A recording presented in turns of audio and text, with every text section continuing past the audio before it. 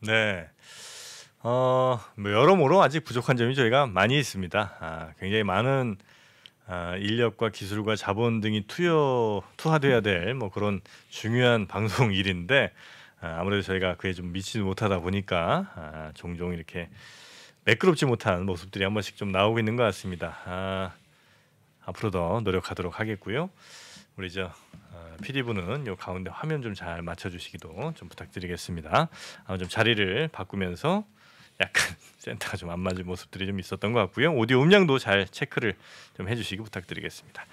자, 오늘 어, 월요일 저녁 오늘 주식시장은 어땠을지 우리 박진희 부장님과 함께 랩으로 오늘 시장 한번 들어보도록 하겠습니다. 어서 오십시오. 요. 네 안녕하세요. 반갑습니다. 그러고 보니까 박진희 부장님도 박씨네요. 그러네요. 네. 무슨 의미죠? 뭐좀 박씨가 아니신 분들은 조금 뭐 약간 기분 나쁘실 수 있지만 네. 또 누가 그러더라고요. 주식은 박씨가 잘한다고. 아, 아 근데 진짜 묘한 일인데 생각해보니까 저녁 그장 정리해 주신 분이 박현상 차장, 박병청, 박재영, 박재영. 박 병창 부장님도 음, 그러니까. 박병창 부장님 이제 아침에 네. 이제 주로 네, 해주시고, 네, 네. 어 그러네요 진짜. 음. 저도 그럼 박영진으로 가겠습니다. 네. 주식만 잘할 수 있다면. 네. 자 오늘 우리 박진희 부장님과 함께 아, 주식 얼른 좀 가봐야 될 것 같습니다. 지금 시간이 좀 네, 늦어졌으니까요. 맞습니다. 어떤 시장이었습니까 오늘은? 네. 뭐 최근 시장 트렌드는 딱 정말 두 가지인 것 같아요. 뭐 컨텐츠 엔터, K 컨텐츠 엔터 쪽하고 네. 이 2차 전지 소재 및 원자재 소재 강세주. 딱 이렇게 보시면 지금 시장에 딱 두 가지 핵심 트렌드라고 보시면 맞을 것 같아요. 음. 오늘도 그 흐름이 그대로 이어졌다라고 보시면 좋겠습니다. 최근에 이제 뭐 아시다시피 이제 뭐 석탄 부족에서부터 시작을 해가지고 이제 원자재들이 막 강세를 보이는 상태인데 뭐 오늘 뭐 고려아연 같은 경우는 뭐 신고가 난 상태라고 보시면 좋겠고 뭐 알루미늄 같은 경우도 중국에서 지금 계속 좀 채굴이 잘 안 되는 상태라서 많이 부족하다라고 그러더라고요. 그래서 네. 지금 원자재들이 부족 현상 때문에 관련주들이 상당히 좀 강세를 보이고 있는 흐름이 좀 나타났고요. 음. 두 번째로는 뭐 계속 몇 주 전부터 계속 이어오고 있는 이제 K 컨텐츠 관련 주들이 되겠습니다. 그래서 엔터 주들 같은 경우 이제 오징어 게임의 이제 뒤를 이어받은 이제 마이네임이 이제 또 넷플릭스에서 좀 4위에 등극을 하면서 음. 또 오늘 관련 주들이 상당히 급등을 했고요. 글로벌 4위인 거죠? 네, 그래서 와. 최근에 이제 그런 현상이 좀 이어지고 네. 이제 차후에 들어올 작품에 대한 기대감 이런 부분들이 뭐 관련 주들을 또 급등세를 좀 이끌면서 오늘도 이쪽 섹터는 상당히 좀 강했고요. 뭐 메타버스를 비롯해서 이런 부분도 좀 상당히 강했고 또 약간 좀 다른 쪽으로 본다라면은 오늘은 좀 IT 섹터에서도 조금 흐름이 나왔습니다. 삼성전자가 이제 뭐 추가로 좀 투자할 수 있는 가능성, 뭐 음. 미국의 이제 이재용 부회장이 이번 달 말에 가면은 신규로 이제 공장 증설하는 부분 이런 부분들 때문에 반도체 관련주들이 조금 오늘 약간 좀 들썩였고요. 자율차 관련주들 또 오늘 좀 강세를 보였습니다. 특히 뭐 칩셋 미디어가 뭐 장중에 급등하기도 했었고요. 오늘 전반적으로 이런 쪽 섹터 주들, 그래서 전장 쪽하고 이제 자율차, 반도체 이런 쪽들이 좀 IT 쪽에서는 약간 조금 두각을 나타내면서 뭐 기술적 반등일 수도 있겠습니다만 좀 이슈에 좀 들썩이는 모습이 좀 나타나는 흐름이 나타났고 오늘 좀 전체적인 특징에서 보면 뭐 풍력 관련 주들이 좀 대체 에너지 쪽에서는 약했던 흐름이었던 것 같아요. 삼강 MNT랑 뭐 그다음에 CS, 윈드 네, 급락하는 흐름 좀 아, 나타나면서 네, 네.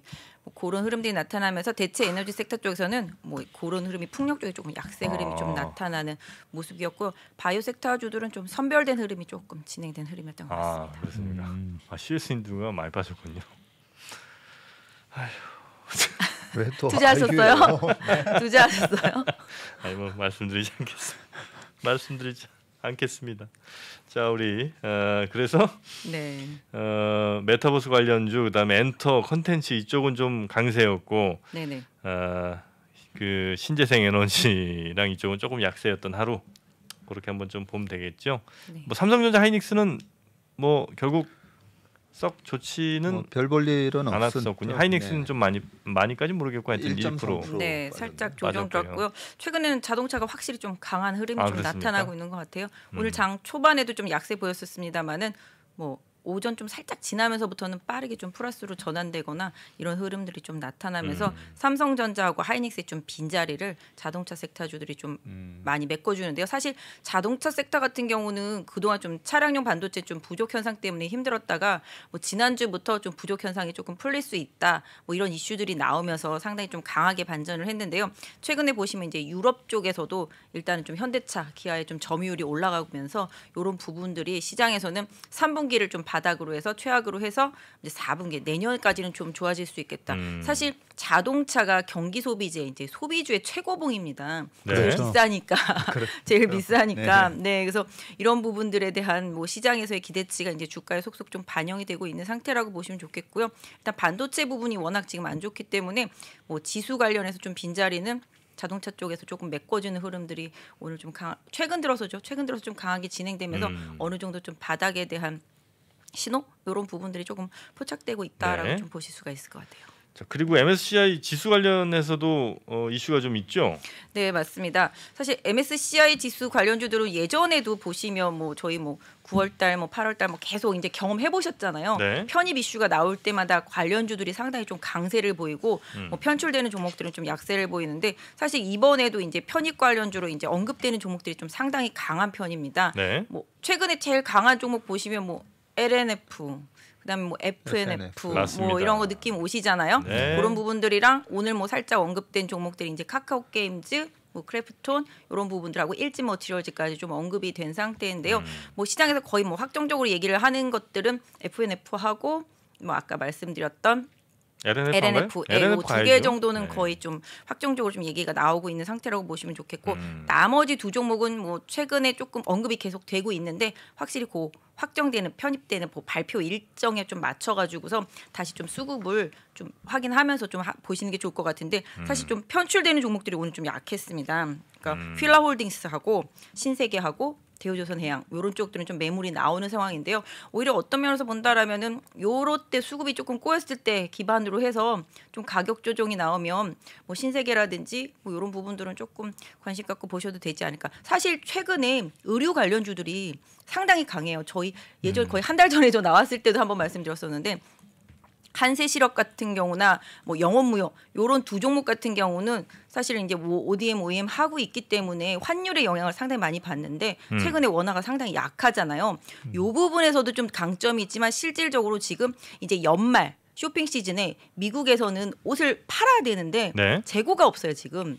네, 그래서 지금 뭐야 코로나 때문에 많이 못 만들었기 때문에 동남아 쪽에서 많이 못 만들었기 때문에 뭐 이게 약간 안 되는 것들은 좀 떨려 나가면서 더 강력한 지위를 갖고 있는 영업무역이나 한세실업 이쪽으로 계속 음. 이제 쏠리는 거죠. 그래서 계속 이제 오더가 들어오는 상태고 네. 이런 재고를 쌓기 위한 오파가 계속 들어오기 때문에 최근에 오히려 영업무역이라든지 한세실업 이런 쪽의 흐름도 좀 많이 개선되고 있고요. 의류주들 뭐 아까 말씀드렸습니다만은 일단 뭐 사실 필라홀딩스는 최근에 조금 상태가 좀 안 좋기는 한데요.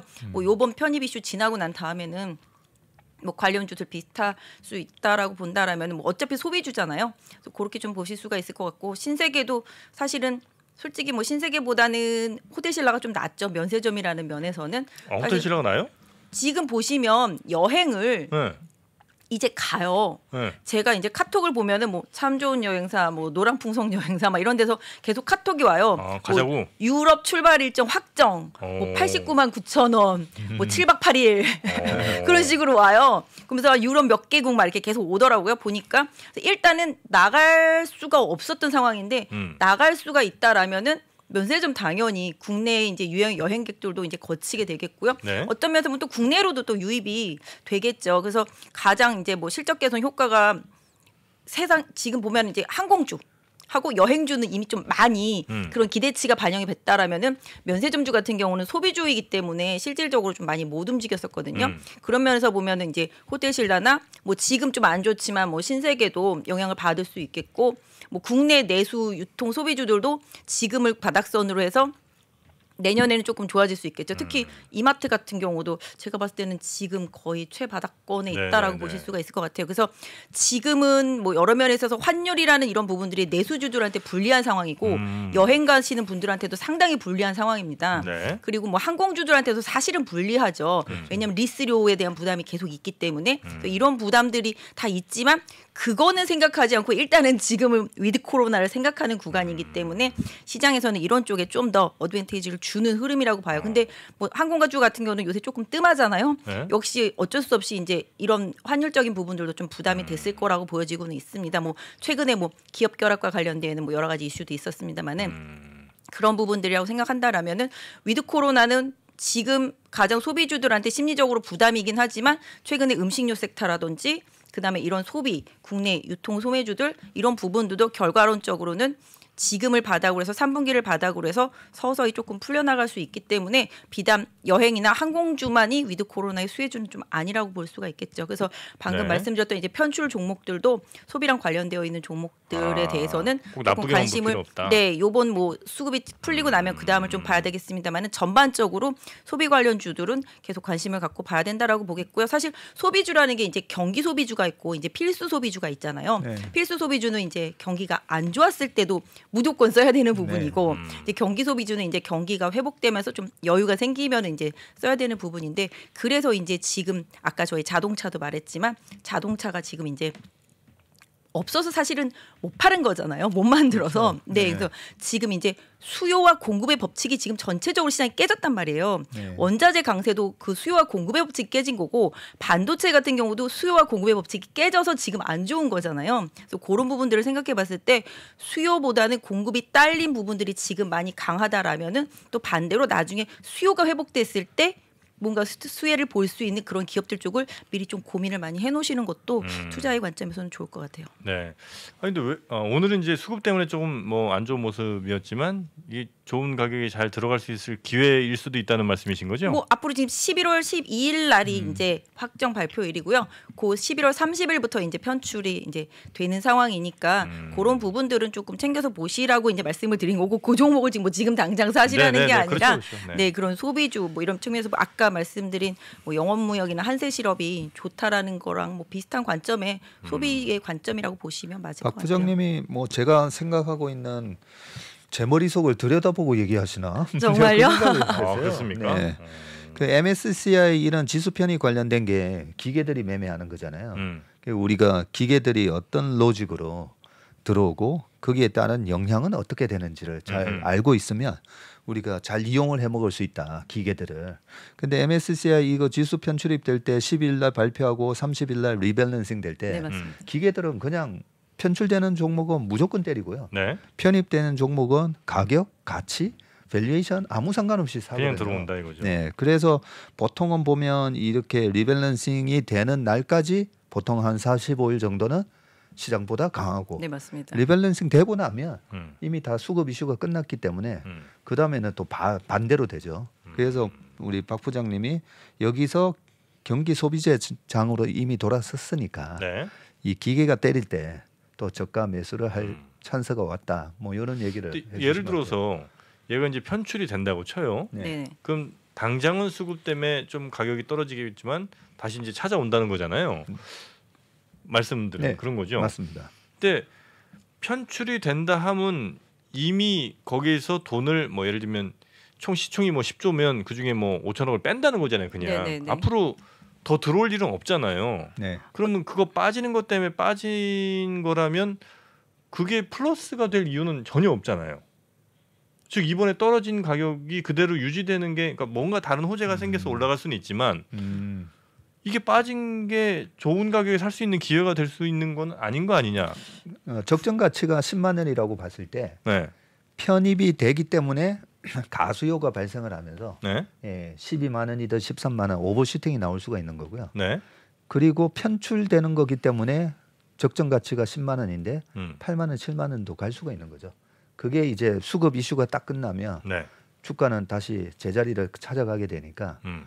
예, 그걸 단기적인 요 편출입 이슈에 의한 음. 가격 왜곡 현상을 잘 노려보자. 그럼 예를 들어 시총 10조에서 5천억 빠졌을 때 그러니까 9조 5천억이 됐는데 네, 여기에서 어 회복한다는 거죠. 회복을 한다. 네. 아, 그렇습니까? 대체적으로는 네. 매도라는 거가 줄어들면 주식이라는 게 사실은 좀 자율적인 반등이 나오게 되어 있고요. 음. 뭐 기본적으로 지금 필라홀딩스가 마냥 좋은 상황은 아니에요. 아, 필라. 예, 예, 예, 마냥 좋은 상황은 아닌데 뭐 오히려 좋은 상황이 아닌 것 때문에 주가가 더 빠졌는데 거기에 또 수급 이슈까지 해서 더 빠졌다라면은 네. 나중에 어느 순간에는 또 저점 매수의 기회가 올 수도 있다라는 점을 음. 일단은 말씀을 드린 거고 그걸 뭐 지금 싸니까 사라 네, 이런 네, 네, 거는 네. 좀 그렇죠. 아니란 얘기고 네. 최근에 수급에 있어서 가장 중요한 게 사실 ETF가 상당히 좀 수급의 블랙홀입니다. 네. 최근에 지난번에도 이제 지금 시장에서 2차 전지라든지 뭐 신재생 에너지 섹터들이 잘 가는 가장 큰 핵심도 ETF가 가지고 있거든요. 그래서 뭐 신재생 에너지 ETF, 뭐 뉴딜 ETF 많잖아요. 최근에 컨텐츠들이랑 엔터주들이랑 음, 메타버스 관련주들이 엄청 잘 가잖아요. 음. 지난주에 메타버스 ETF가 4개가 상장이 음. 됐단 말이에요. 네. 그 메타버스 ETF 안에 구성 종목들이 다 이제 HTS, HTS를 보시면 다 나와 있어요. 음. 보시면 이제 가장 이제 거래가 많고 이제 exciting하게 움직이는 게 이제 코덱스 K 메타버스 액티브인데 음. 이게 삼성 자산에서 한 거죠. 네. 코덱스니까. 근데 보시면 비중이 이제 거의 한 10% 10%뭐 이런 식으로 쭉 있는데 대부분의 그 네 개사의 ETF 그러니까 메타버스 ETF라고 하면 저희가 그냥 아 메타버스 관련주가 들어 있을 거라고 음. 생각하잖아요. 근데 그 안에는 대체로 다 엔터주, 게임주, 컨텐츠주가 다 들어 있거든요. 네. 그리고 네 개 총 해서 보면 제일 많이 들어 있는 게 이제 하이브란 말이에요. 음. 그러니까 하이브가 상대적으로 더 강하고 엔터 사사들도 마찬가지. 그다음에 컨텐츠들도 마찬가지. 그래서 그런 종목들이 편입되어 있기 때문에 그 ETF의 움직임만 봐도 그 안에 있- 들어 있는 종목으로 매매해도 최근에 수익이 난단 말이에요. 그래서 음, 음. 지난주부터 뭐 아시다시피 뭐 자이언트 스텝이라든지 음. 제이 콘텐트리, 하이브 이런 종목들이 막 급등하는 부분들도 다 ETF 수급 영향이에요. 음, 그만큼 그래서 정프로님이 뭐 생각하는 거랑 좀 다를 수도 있겠지만 네. 결론적으로 지금 시장은 큰 돈이 들어와 가지고서 대형주를 올리지 못하는 시장이기 때문에 음. 이런 ETF 쪽으로의 쏠림 현상 이런 부분들을 최대한 활용해서 개인 투자자분들은 이런 종목들 사실 뭐 지금 분위기도 좋잖아요. K 컨텐츠들은 네. 뭐 이런 분위기 그래서 지금 시장에 있어서는 이런 쪽들을 좀 활용하시는 전략이 전략적으로는 맞다. 그래서 음, 괜찮다. 지수 편입 이슈라든지 이런 ETF 편입 이슈 이런 부분들을 좀 종목별로 최대한 좀 활용하실 필요가 있는 시장이 맞다라고 음. 보겠습니다. 자 그리고 어, 반도체 후공정하고 반도체 장비주들은 오늘 어땠습니까? 근데 뭐 아까 말씀드린 대로 반도체주 같은 경우는 이제 삼성전자의 이제 미국 공장 네. 증설 투자에 대한 기대감 이런 부분들이 좀 강하게 이어졌죠. 사실 얼마 전에 시장 삼성전자랑 하이닉스 망가지기 전까지는 이제 음. 기판 업체들이 상당히 강했었고요. 네. 최근에 들어와서는 이제 뭐 메모리 쪽 안 좋다고 그러면서 좀 시장이 안 좋았습니다만은 최근에 좀 시스템 반도체에 대한 기대감 이런 부분들 때문에 오늘 아마도 이제 시스템 반도체와 관련되어 있는 종목들이 좀 강했던 것 같아요. 음. 뭐 칩셋 미디어 같은 경우는 약간 좀 루머성 이슈도 좀 사실 가미되면서 장중에 급등도 했었었지만 차량용 반도체에 대한 시장의 부족 현상을 좀 반영하는 스타일의 그런 시스템 반도체 비메모리형 이런 쪽들에 대한 부분들 또 워낙에 단계 많이 낙폭이 컸기 때문에 음. 반도체 주식들은 뭐 기술적인 반등과 뭐 일단 실적 발표에 있어서 실적이 좀 견조할 거로 예상되는 기업들 이런 부분들이 좀 선별적으로 좀 오늘 많이 올랐던 것 같습니다. 네. 어 저희가 이제 잠시 후에 어, 김창곤 이사가 이제 출연을 하시는데 음. 뭐 예를 들면 뭐 네이버라든지 카카오 혹은 뭐 게임 관련주들 뭐 이런 네. 이야기들도 아마 재밌게 해주실 것 같습니다. 기대해 주시고요. 오늘 우리 박진희 부장님이 에, 우리 시장에서 좀 더 집중해서 보셨던 섹터든 혹은 뭐 어떤 현상, 어, 어떤 분위기 뭐 이런 거는 뭐가 좀 있었을까요? 뭐 방금 말씀하신 말씀드렸던 부분인 것 같아요. 사실 이제 대체로. 소재랑 원자재라는 부분이랑 음, 그다음에 이제 K 컨텐츠와 관련되어 컨텐츠. 있는 역시 다 좀 시장에서 확실히 좀 모멘텀을 가지고 있는 쪽에 쏠림 현상 네. 이런 부분들이 계속적으로 좀 이어지는 시장이었다라고 보시는 게 맞겠고 이제 위드 코로나 이후를 조금씩 준비하는 네. 흐름이 좀 대형주 쪽에서는 조금씩 나타나고 있다라고 봐주시면 컨텐츠. 관련해서도 뭐 저 준비하고 있는 친구들도 꽤 있고 또 그렇죠. 기대되는 작품들이 좀 많이 있는 모양이죠. 네 맞습니다. 지금 보시면은 뭐 지금 뭐 마이네임은 일단 들어왔고 네, 네. 이제 지리산이 이제 TVN 통해서 이제 나오게 되고요. 음. 그다음에 뭐 이영애 씨 이제 돌아오는 작품 뭐 고갱인가? 구경이죠, 구경이. 네, 뭐 그 그런 부분들도 있고 뭐 상당히 좀 많이 있습니다. 근데 음. 대체로 거의 제이 콘텐트리 작품들이 내년에도 상당히 많이 포진을 하고 있습니다. 음. 뭐 오늘은 보시면 이제 마이네임 때문에 이제 스튜디오 산타클로스가 상한가에 가기도 했는데요. 네. 전체적으로 제가 봤을 때는 이것도 위드 코로나의 영향을 상당히 많이 받습니다. 음. 왜냐하면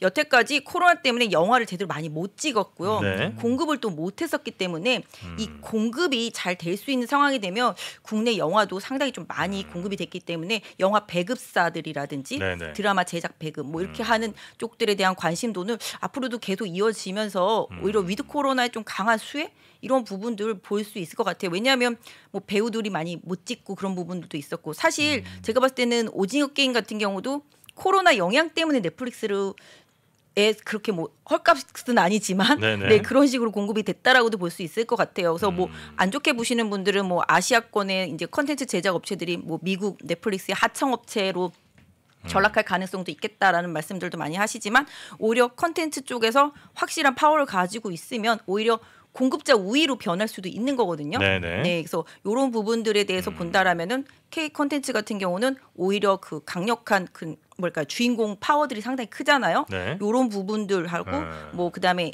코로나 때문에 뭐 영화관도 많이 못 음. 가고 뭐 이랬었던 부분들이 좀 풀리게 되면 영화 공급 배급 요런 쪽들도 네. 음. 상당히 좀 좋고 상영관 이런 부분들도 계속 같이 좀 동참해서 좀 보셔도 네. 좋지 않을까 싶습니다. 다만 이제 말씀 듣다 보니까 그런 생각은 좀 듭니다. 이게 아, 투자하시는 분들 입장에서 자칫 그 어, 주연 배우가 화려하다는 이유로 너무 과도한 기대를 하지는 않으셨으면 좋겠는 게 이건 그냥 제 생각입니다만 네네. 사실 외국 입- 입장에서 보면 이영애든 뭐 이정재든 이병헌이든 이병헌 씨 정도는 좀뭐 그쵸. 알려졌는지 모르겠습니다. 하여튼 나머지 배우들은 어, 내가 저 드라마를 선택할까 안 선택할까를 결정할 때 거의 영향을 못 미칠 것 같고 예를 들면 오징어 게임 같이 아주 독특한 뭐 컨셉이라든지 그쵸. 독특한 스토리 뭐 이런, 이런 거라면 네, 또 네. 모르겠는데 그래서 자칫 주연 배우 잘못 보고 네. 또 과도한 기대하셨다간 조금 잘못되실 수도 있을 것 같기도 그런 하고 경우들도 많이 있죠. 되게 그렇겠죠? 좀 기대했던 배우가 출연했는데 작품이 좀 이렇게 인기가 없어져서 요번에도 사실 그런 게 좀 고민인 거죠. 왜냐하면 음. 오징어 게임으로 붐을 딱 일으켜 놨는데 뭐 2번, 3번, 4번 작품들이 좀 기대치에 못 미치면서 갑자기 분위기가 확 다운될까봐 음. 이런 부분들에 대한 우려도 사실은 있는데 뭐 일단 사실 뭐 작품력이라는 이런 부분들은 또 이제 네네네. 보는 배우들이 또 출연하고 연기력에서는 뭐 거의 논란이 없는 배우들이 많이 출연을 하고요. 음. 또 저희 뭐 아시다시피 이제 감독들도 상당히 좀 세계적으로 좀 음. 능력 있는 그런 네. 감독들이기 때문에